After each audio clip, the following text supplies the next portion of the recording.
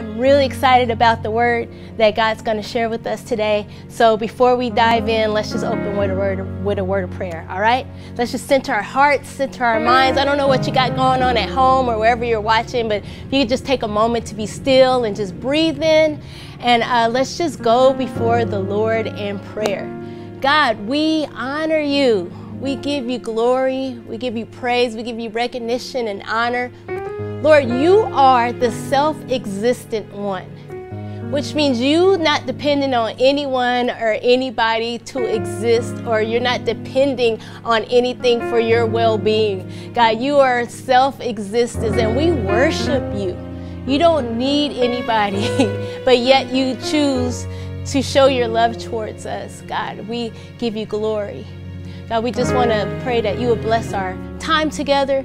Lord, that you would breathe into this word and that you would just have your way, that you would shift things in our hearts and our minds, that we might give you all the glory. I ask for your anointing to make preaching and teaching easy. We thank you in Jesus' name. Amen. Amen, family.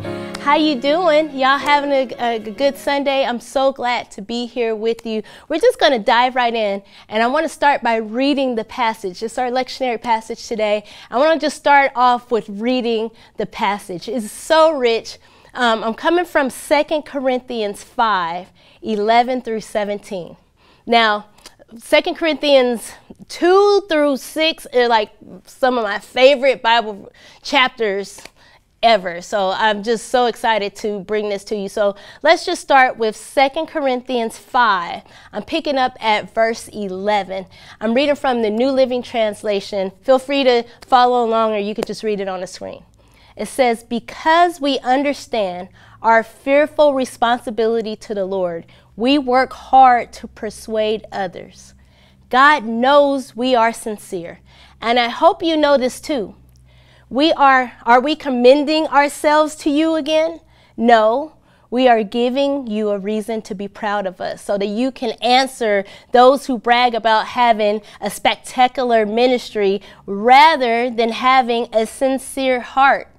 If it seems we are crazy, it is to bring glory to God. And if we are in our right minds, it is for your benefit. Either way, Christ's love controls us. Since we believe that Christ died for all, we also believe that we have died. We have all died to our old life. He died for everyone so that those who receive his new life will no longer live for themselves. Instead, they will live for Christ who died and was raised for them. 16 says, So we stopped evaluating others from a human point of view. At one time, we thought of Christ merely from a human point of view. How differently we know him now. This means that anyone who believes, anyone who belongs to Christ has become a new person. The old life is gone, a new life has begun. Let the church say, Amen.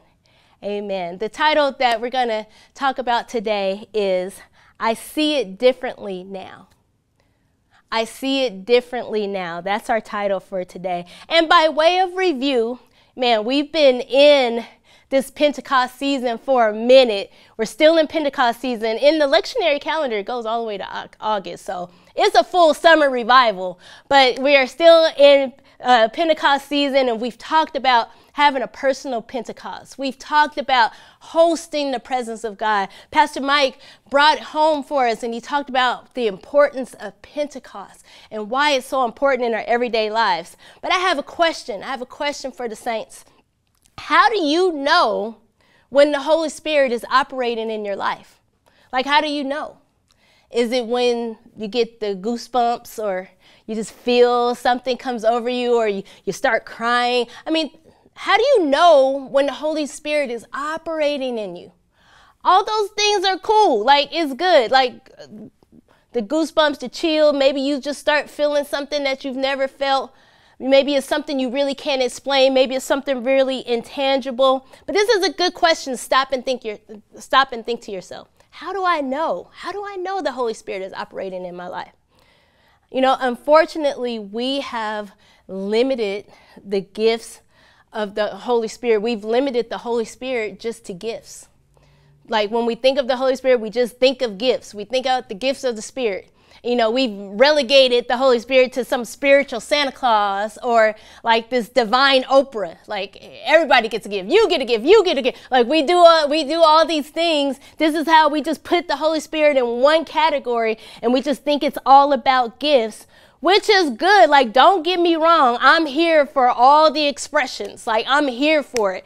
Like, it's something about Jesus. There's something about the Holy Spirit. It's like fire shut up in your bones. Like, when you start to feel something in your hands or in your feet, you can't, it's like fire inside of you. You can't help but to express it and just like uh, for a quick side note, we're just taking a quick side note. We're in this Second Corinthians 5, and, and in Second Corinthians 5 5, just a quick fun fact about the Holy Spirit, and I'm gonna get back on, on track. Quick fact is that Second Corinthians 5 5 says that the Holy Spirit is our deposit. The Holy Spirit is our guarantee or our, or, or our earnest. It's like as though God gave us a, an engagement ring while we're here on earth. Isn't that rich? Like God gave us a deposit. God gave us like a layaway saying like, you know what? Um, I'm just going to give you a little portion of what my spirit is, what my presence in life. And I'm going to cash you out when you get to heaven. You're going to get to feel the full extent of my presence. I'm just going to give you a little bit of my presence, a little foretaste. It's like I said, it's like layaway. Y'all remember layaway? Y'all remember Kmart? And yeah, remember Granny would put just a little something on it and all the way till Christmas she get it out? Right. They had to do away with the layaway because the saints don't be doing right. But that's here nor there. The Holy Spirit is our earnest, is our down payment. That's what you're feeling. When you're feeling the goosebumps or thing, that's just a small taste of God's presence that we're going to be living in in eternity. Can somebody say hallelujah for that? So, back to the gifts. We have made we've made the gifts the evidence of the Holy Spirit. And I, I don't know, I think we need to correct this. We've made the gifts the evidence. When, when the Holy Spirit gives us the evidence, we say it's the evidence. Well, how do you have the Holy Spirit? Well, I have the evidence of speaking in tongues, or I have the evidence of the baptism of the Holy Spirit. And yes, that is, but I think a better way to say it is that we have the Holy Spirit and we have the benefits of the Holy Spirit. Instead of the evidence, I think we have benefits in the Holy Spirit. You know, that that's how God shows us that Jesus is living in, in, in, and the Holy Spirit is dwelling in us. We have the evidence of the Holy So I have the Holy Spirit with the benefits of speaking in tongues, with the benefits of the baptism of the Holy Spirit, because there's a difference. There are evidence you, you can say that there are evidences that you can show that the Holy Spirit is operating in your life. I'll just give you a few. First evidence is that you experience help or comfort of the Holy Spirit it, you experience the comfort or just divine help. And this is found in John 14, 16. If you taking notes, I got side references for you. John 14, 16 says that the Holy Spirit is a comforter or a helper.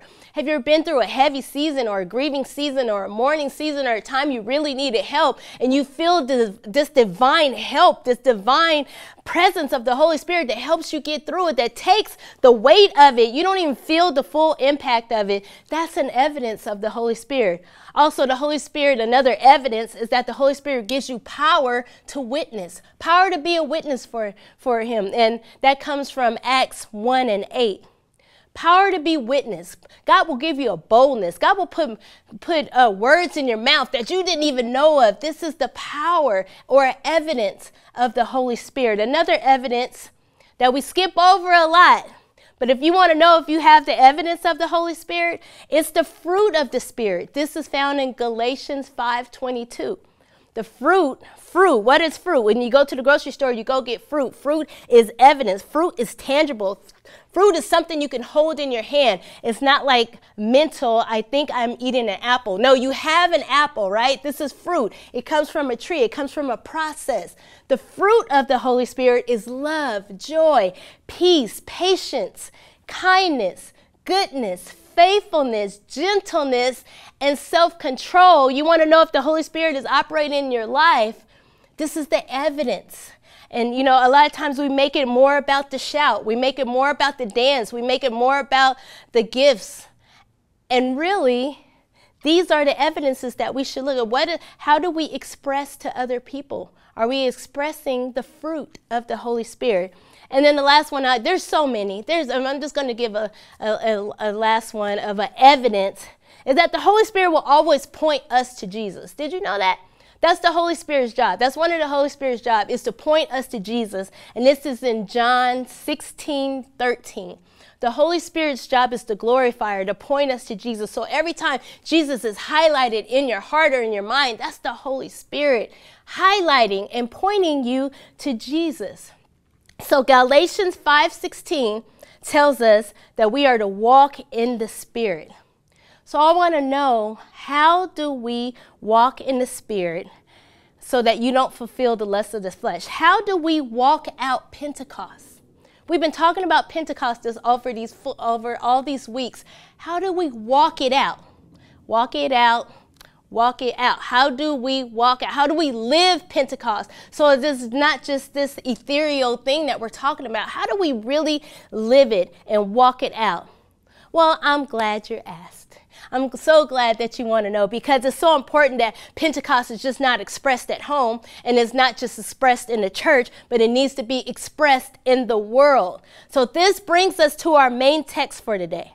Our main text comes again from 2 Corinthians 5. And I'm going to look at verse 13 through 15 right now. And we're going to walk through each verse. Y'all y'all good? Y'all got time? Y'all want to walk through? We're going to just walk through each verse. I love taking it line by line. So let's just look at we're going to start with verse 13. We're in 2 Corinthians 5. We're looking at verse 13.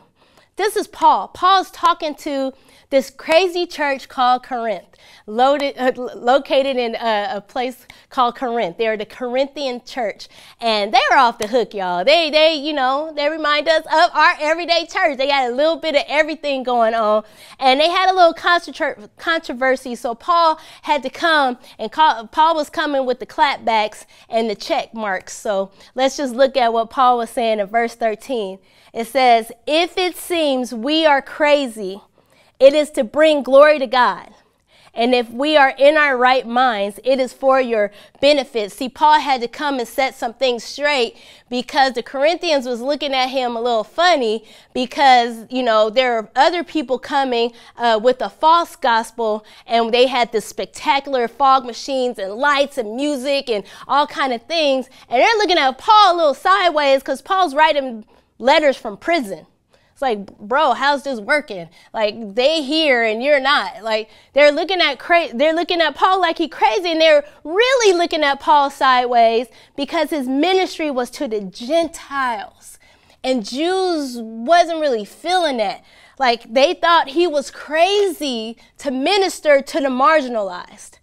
They're like, Paul, what is going? So Paul was coming with the clapback, was like, look, if it looks like I'm crazy, then that's just to the glory of God. And then if I'm in my right mind, y'all think I'm like all tamed and whatever, that's for your benefit too. I have a question. I want to know what are you willing to look crazy for? What are you willing to crazy for? Everyone might not understand your calling. Everybody might not understand who you're called to. And you got to learn to be okay with that. We got to learn to sit in that. Everybody don't understand your mission. Everybody doesn't understand your purpose. People will come to you and be like, "Ooh, girl, I don't know how you do that." Yeah, because that's not your calling. This is how I could take it. God's put this in me. Are you willing to look crazy, or are you too concerned about your image or what's going on or how you look on IG? There's sometimes you got to look crazy for Christ. And Paul was like, "Look, if it looks like I'm crazy, then this to the glory of God, because I'm here and I'm gonna do what God's called me to do." All right, so verse 14, it says, either way, whether you think I'm crazy or you think I'm just, you know, out here being cool, either way, Christ's love controls us. Christ's love controls us. Another version says Christ's love compels us. So we, since we believe that Christ died for all, we also believe that we have all died to our old life. I love this because Paul says like, hey, either way, it's the it's the love of God that's motivating this. What controls your motives? Think about this for a minute. What is at the heart of your interaction with people? Are, are you are you when you're talking with people or navigating with people, is your goal to correct them or to set them straight or to, you know, get them to believe in your morals or your convictions? What is the motive of how you interact with people? Is it to correct them or is it to love them? Because Paul was like, you know what? Even though Corinthian church, y'all out here acting a fool, I'm here and everything that I'm doing is, is controlled by love. I'm not even trying to do too much. I'm not even trying. Everything comes from love. I lo- we really got to think about our motives. What controls us? And what if that was our testimony that everything we did came from a spirit of love and it controls you, it takes over you. It's the main motivating force, as Aaliyah said, in our in our interactions with people. And then I love that it also says, since we believe that Christ died for all, I'm to read that again. Since we believe Christ died for who?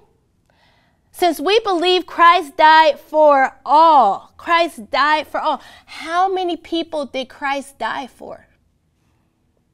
How I, am gonna have to look at the chat later. Put it into how how many people did Christ die for? It says that Christ died for all. I looked it up in the Greek, and you know what all means? It means all. Christ died for all. My question is Does our theology reflect all? Does your personal theology reflect all? Does your personal morals and convictions reflect the fact that Christ died for all? And if we believe that we have all died to our, our old life, we believe that we've all died to our own life. Guess what? We're all in the same boat. There's all means all, and all means that we're all in the same category. And since we believe Christ for died for all, we also believe that we have died to our old life. We've died to how many believe that you are dead to your old life. I'm talking about the you you were before you started following Christ. The hot mess you, the you that was just off the hook. Like, how many people am I talking to? Do you believe that you're, you have died to that old life? Or are we out here resuscitating zombies? Are you giving CPR to your old life? Because before, you gave your life to God, your spirit was dead to God. And then when you follow Jesus and you invite Jesus into your life, the Holy Spirit comes in and breathes life, and you have a new life. You have a new spirit. That's why you are born again. That old life is dead, the new life is here. And but we steadily try to go back and get that old life and walk around with a corpse again. It is time for us to believe that Christ died for all. And since we believe that, we believe that we have also died to our old life. Somebody say, My old life is dead. And I'm not going to go into graveyards and digging it up anymore. I'm dead to that. Say, I'm dead to that. Okay, we're going to move to verse 15.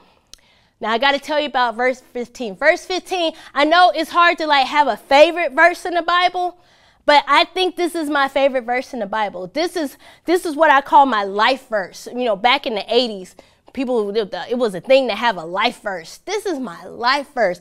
I love this. Every time I hear this verse, it's like I get a, a punch in the stomach. Like I just, it just does something to me. Verse 15, my favorite scripture. It says, He died for everyone so that those who receive his new life will no longer live for themselves.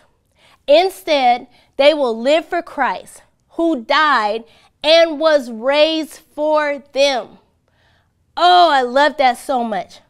I love this verse because once you get a revelation of the magnitude of the love of Jesus and everything that Jesus has done for you, And once you get a revelation of everything that Jesus went through to give you access to God, to fill you with His Spirit, to bring you back from an old life to a new life, to give you a new purpose, and something about it will make you say, I have no other response but to live my life for God. I no longer want to do things my way. I don't want to live selfishly anymore. I don't want to live in a place where I'm just living for me, my dreams, my goals, my car, my money, my all that. All that goes out the door when I get a revelation of who Jesus is and how much he loves me. It makes me want to say all I want to do is live my life for you. I don't want to do things my way anymore. I solely want to live for you. I promise you it's my favorite verse. There's no other response that I have than and to, to live my life for Christ, the one who died and the one who was raised. Um, I don't want to live for myself anymore. I want to live for Him. Can I get an amen? So, we just got these wonderful verses, right? We just went through like, oh, that's nice. Hercules, Hercules. Like, these are really nice verses, right? So, what is the conclusion of this? And this is where we're getting into the crux of the And what is what is the conclusion of this? These are all nice words, Paul. Thank you for coming. We're going to send you the love offering in the mail. Like, thank you. What is the conclusion? How do you live this out? It would seem as though this could have been the end of the chapter. Great. Christ died for us. We need to act right and we need to get our lives together, right? But instead, the culmination of this truth, it, it astounded me. I got to tell you, the next verse will surprise you. Is there, there's a plot twist to this story, and it's a, it has a very unexpected ending. I, was shocked when I saw the culmination of this verse. How do we live? What does this look like practically? How can I live out Pentecost? It's in the next verse. It's verse 16. Look at what verse 16 says. It says, So we have stopped evaluating. Wait, wait, wait. Let me go back. It says, So. So, so the conclusion of everything I've just talked about. So, so, I, I'm just, the conclusion of this.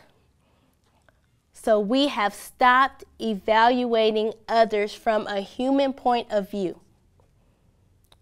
At one time, we thought of Christ merely from a human point of view. How differently we know him now. Verse 16 says, We have stopped evaluating people from a human point of view.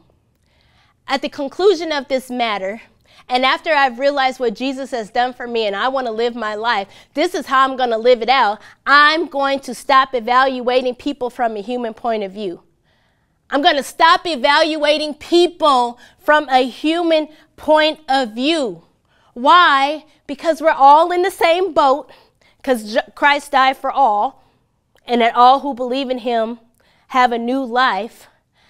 And so that means we're no longer just going to evaluate people based on their physical appearances, based on their age, based on their gender, based on their ethnicity. We're going to stop evaluating people from a human point of view. What a revolution it would be, especially in the church, if we stop evaluating people merely from a human point of view. Paul said, I'm not going to do it no more. After I get a revelation of who Jesus is, I'm changing. I got a new uh, way to evaluate people, and I'm not going to do it according to a human point of view.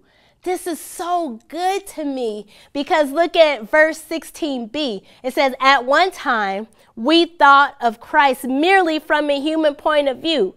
How differently we know him now. Paul's like, hey, we had it twisted before. See, this, we, we're not going to evaluate people from a human point of view because we used to look at Christ. We used to have Jesus twisted. We used to have, we used to just look at Jesus from a human point of view. Now, what would be the problem of just seeing Jesus from a human point of view.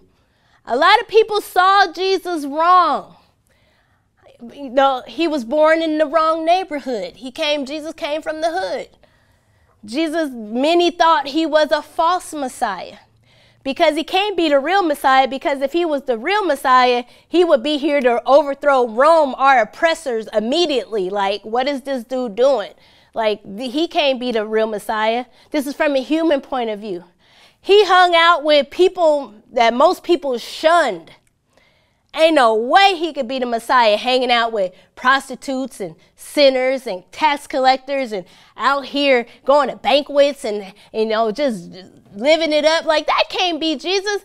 That's how when people just see Jesus from a human point of view, and even today, most people are like, you know, Jesus was a great teacher an historical figure. You know, it is documented that he lived in on the earth, and you know, that's about all he is. A human point of view. Paul said, No, how differently we know him now. Paul said, We used to look at even Paul. Paul knew this was his testimony. Paul was out here persecuting Christians, killing Christians because he only saw Jesus from a human point of view. Who is this little cult leader and all these people following him? We got to get rid of them. He saw Jesus just from one view. But everybody has to have a moment if you're going to follow Jesus, where you see him differently. Have you had that moment? Have you had a moment where you see Jesus differently?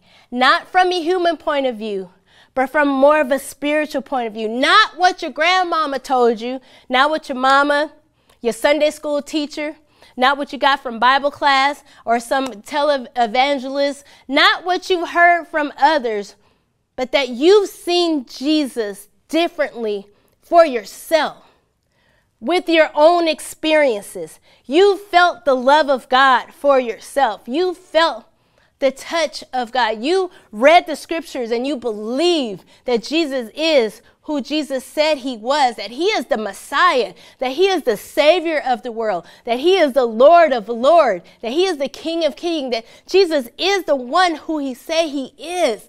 Do you see Jesus differently? Have you had a moment when you see Jesus differently? So, what does this all mean now? What does this mean for us?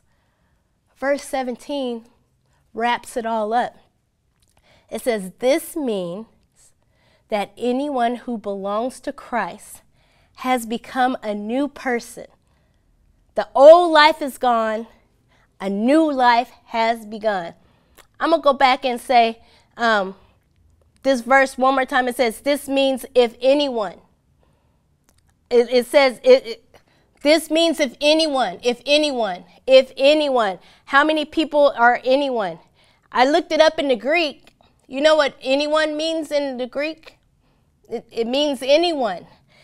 If anyone is in Christ, belong to Christ, it's a new person made in God's image just changes everything about our evaluation forms and how we see people and how we perceive people. Because if anyone could be in Christ and if Christ died for anybody and anybody can be saved, this changes everything. You will never look in the eyes of someone that Jesus doesn't love.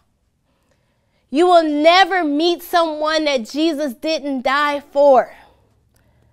We, you know, we all have some form of hierarchy. We have some form of hierarchy, and that comes that that that just means that um, we are all privileged, and we are all oppressors in some way. Hierarchy. We're all privileged, and we are all oppressors in some way, and we have to check that. All of us hold some form of privilege. And with the privilege that you have, we have to be careful not to oppress others with this privilege that you have where you, where you stand in society. This is all made up societal stuff. But when we do have some type of privilege, even as people who are oppressed, we can have a hierarchy among oppressed people and use horizontal violence among each other. We have to check that. We have to do the work we're asking the, our society to do. We, we have to do the work that we're asking white supremacy to do. We have to check these things in our hearts and our minds and not oppress those among us with our own privilege, if you, whatever privilege you have, it is up to us to get power away and to love and to reach out to those who might not have the same privilege that the society views that everyone should have because we are trying to get everyone from the margins into the center. Can I get an amen? So, in my conclusion, now we have a new evaluation process. And with the new evaluation, you guys, you know, at work, anyone get like an annual evaluation? Sometimes if you're like on and you're popping, like with the new evaluation, you get a promotion.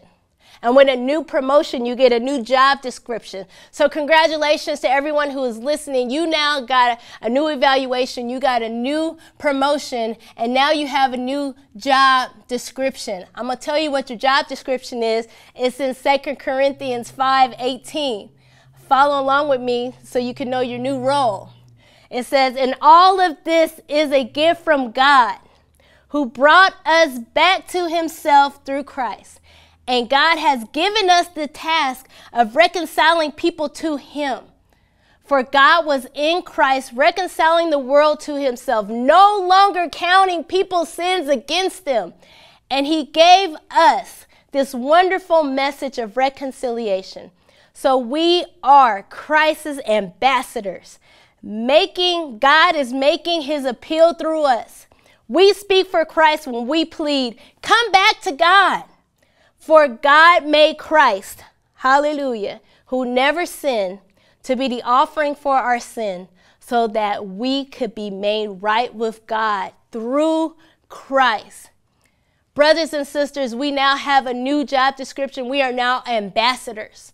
We are ambassadors for Christ. We are now reconcilers to the world. And if you go to any foreign embassy or any place that they have um, ambassadors throughout the world. It is your job as an ambassador to represent your country. You're not there doing your own thing, making your own rules, doing you are to follow the protocol and everything of the country that sent you. Same with us. We are representing heaven. We are representing God and we have a responsibility to reach out to those around us. Why? Because so many people have been turned off to God because of church people, church politics, toxic theology. So many people have been turned off from God. So many people think that God hates them. So many people think that they are doomed to hell. There's so so many people who think this. And this is um, a point that we just really need to take a time and just recognize and just really take some time to say like our to our LGBTQ and plus brothers and sisters, our siblings, this community really should be commended because they built a whole movement based on love. Think about it. A whole movement that's going worldwide based on love. And that should be the church's message. They have led the way. They have actually paved the way and showed a model that we should be following as the church to build a whole a whole movement just based on love.